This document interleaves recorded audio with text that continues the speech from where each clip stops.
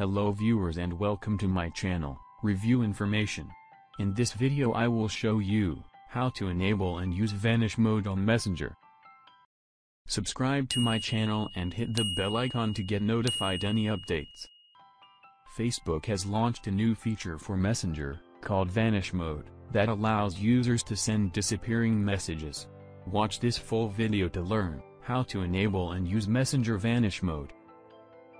To begin, open the Messenger app on your phone. Now select the chat conversation, on which you would like to use Vanish Mode. The Vanish Mode setting can only be applied to one-on-one -on -one chats, so you won't be able to use it in groups. Once you are inside the chat, swipe upwards from the bottom, to quickly switch into Vanish Mode. And the Vanish Mode is enabled. If this doesn't work, you can instead tap the person's name at the top. Scroll down. And tap Vanish Mode. Then tap the switch to enable Vanish Mode. When Vanish Mode is enabled, your chat will appear with a dark background, and a Turn Off Vanish Mode button will appear above.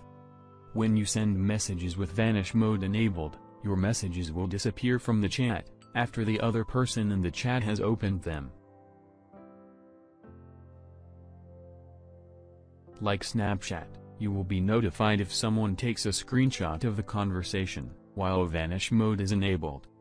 To disable Vanish Mode, tap Turn Off Vanish Mode, at the top of the chat. So that's all the things you need to know, about using Vanish Mode on Messenger. Thank you for watching.